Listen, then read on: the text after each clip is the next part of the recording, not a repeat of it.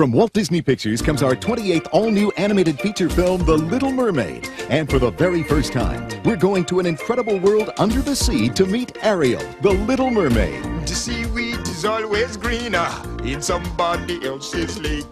You dream about going up there, but that is a big mistake. Just look at the world around you, right here on the ocean floor. Such wonderful things around you. What more are you looking for?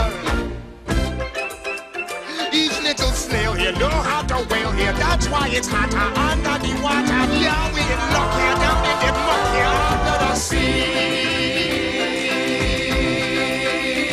The Little Mermaid, coming to theaters this holiday season.